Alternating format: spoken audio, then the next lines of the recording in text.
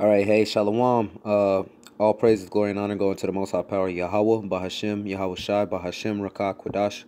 Uh, double honors on to the apostles and the elders of Great Millstone that do uh, rule and are the leaders of the nation of Israel. Also, Shalom citations, mercy, and blessings to all the sincere brothers out there that push this word with truth and with faith. My name is Thabawaah Ahmath of Great Millstone Northwest.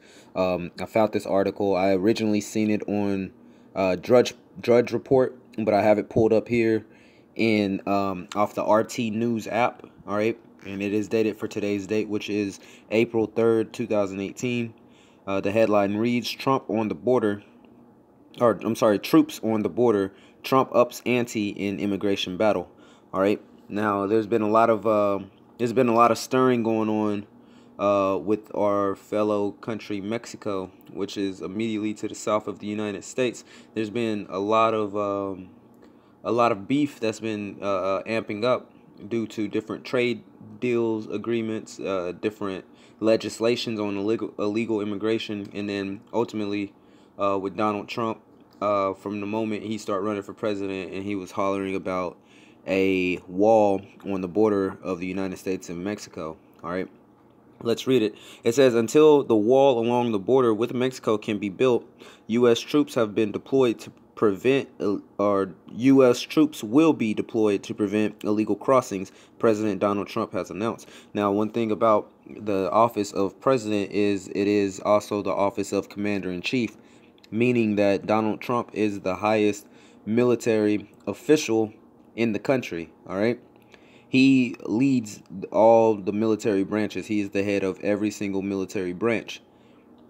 So um, when he says that he's going to deploy troops to the border, there's not really too much that uh, uh, any of the military branches can say about it. All right, because he is the he's the boss. He's the commander in chief. All right. It says until we can have a wall and proper security, we're going to be guarding our border with the military.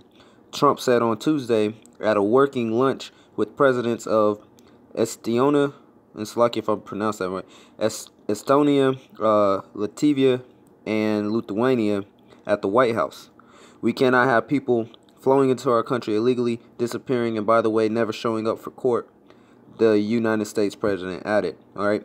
Now, here last week, Trump overthrew uh, the previous legislation on uh, DACA, which pre- pre- uh, it uh, protected the children of immigrants that came into um, America, say they flee from somewhere in Central or South America and come up through Mexico and enter the country illegally and have their child here, that um, that legislation used to protect those children, but he overthrew it. So now there is no protection even for those children.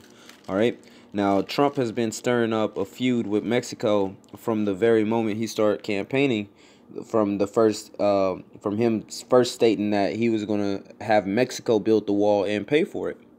All right.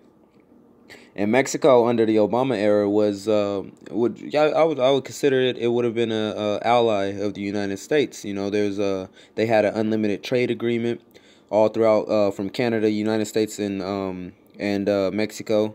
They also was going to introduce. There was a talk about them introducing a currency system called the Amero, which would have been um, the same currency system through Canada, the United States, and Mexico.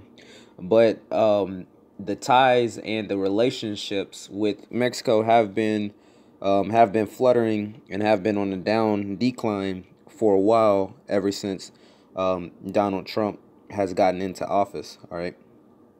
Reading on, it says no details were made available about the possible troop deployment. Trump said he had discussed the deployment with U.S. Defense Secretary James Mattis, who was president, who was present for the talks with the Baltic leaders about bolstering the security along their borders with Russia.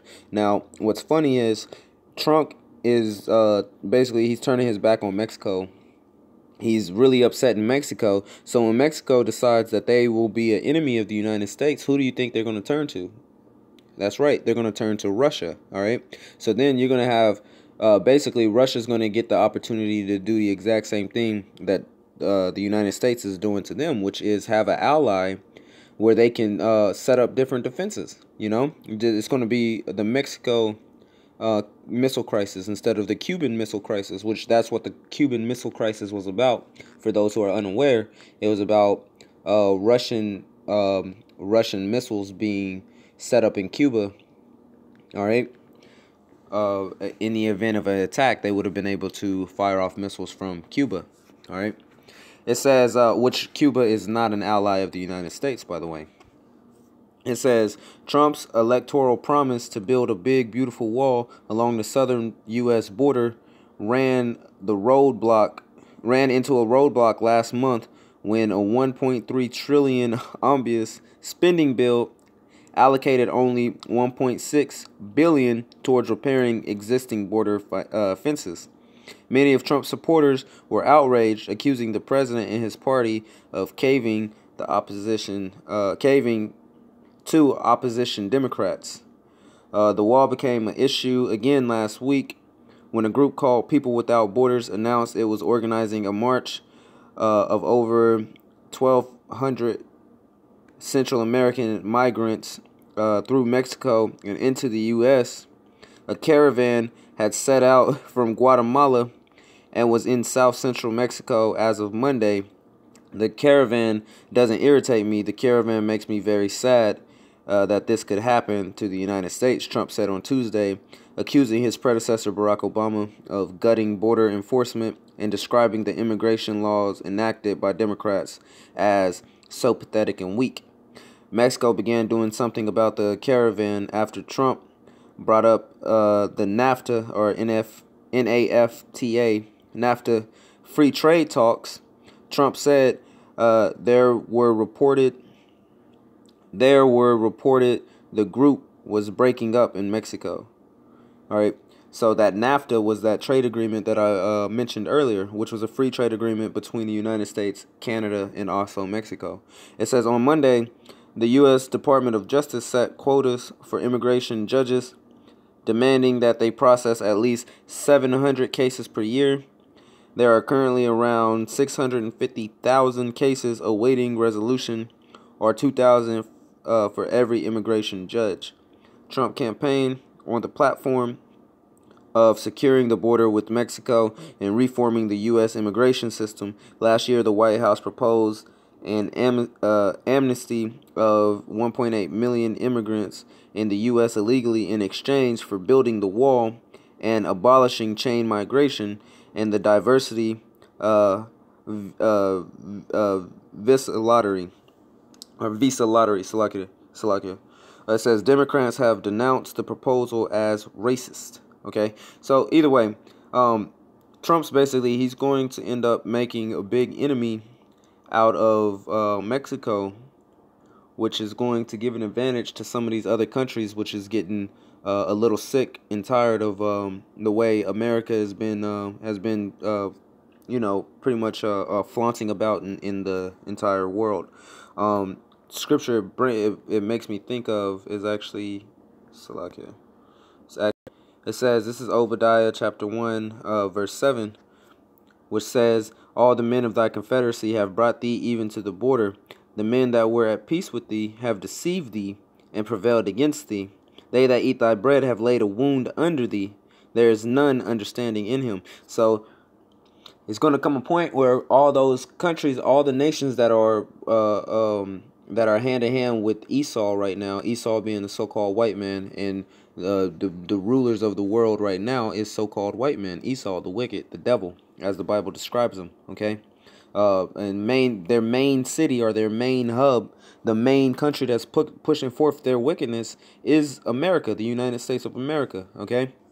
So it says the men of their confederacy have brought them even to the border, meaning they have brought them to war. Those countries that were once um, allies and friendly with this place America or is going to turn on this place America as saith the scriptures. All right. And we're reading it right here. It says the men that were at peace with thee have deceived thee. So there's gonna it's gonna come a point where these nations that were uh you know involved in NATO, involved in United Nations, involved in um in uh um uh, different different treaties and trades with the United States, it's going to come a point where they're going to turn on the United States and they are going to assist in the destroying of the United States of America. All right. which we patiently wait for uh, and pray happens soon. Okay, because this place, this place, uh, it needs to go. All right, it, has to go. So this was just it just reminded me of this scripture, um, that that article. Um, so stay tuned for more uh, news and keep paying attention, keep watch, brothers.